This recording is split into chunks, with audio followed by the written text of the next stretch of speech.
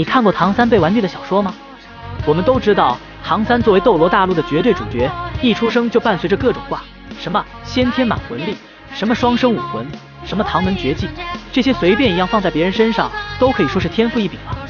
而唐三一出生就拥有这全部，所以唐三被人称之为挂王，可能就是斗罗这么变态的设定。唐三这不给别人活路的天赋，惹怒了一些人，所以就催生了很多斗罗同人文。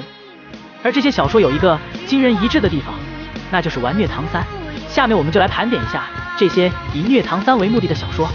第一部《斗罗之开局》举报唐三拥有双武魂，主角穿越斗罗大陆，从圣魂村开始改变命运。开局就揭穿唐三拥有双武魂的身份，提前邂逅小舞，不跟团，不拜大师，不信唐三。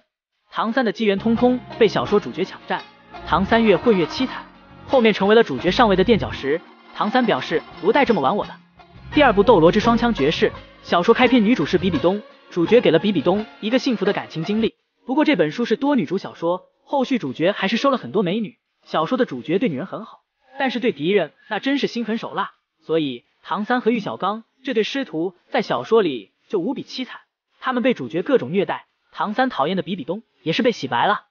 第三部从斗罗开始猎杀主角，男主在斗罗世界不断猎杀唐三，他们最大的目标就是唐三。小说的主角开局遇到小舞，然后假装成为唐三的兄弟，背后出手轻松灭掉唐三，然后主角又与宁荣荣一起杀死奥斯卡，让朱竹清杀掉渣男戴沐白，帮助柳二龙对付渣男玉小刚，可想而知有多离谱，简直就是针对史莱克学院，针对史莱克七怪啊！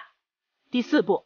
从炸掉魂环开始的斗罗小说的男主角穿越到斗罗大陆世界，靠着一个硬币武魂和学霸知识，自我开发设计路线，实力不断提升。碾压唐三和史莱克七怪，不过这里面的女主角是小舞，而且里面小舞还生了一个可爱的女儿。唐三表示哭晕在厕所。第五部《斗罗之武魂殿万岁》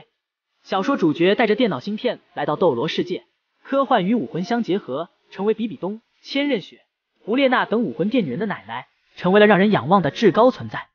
而唐三这个原著里一路逆天的角色，在这本小说里成为了悲剧人物，成为了主角上位的殉葬品。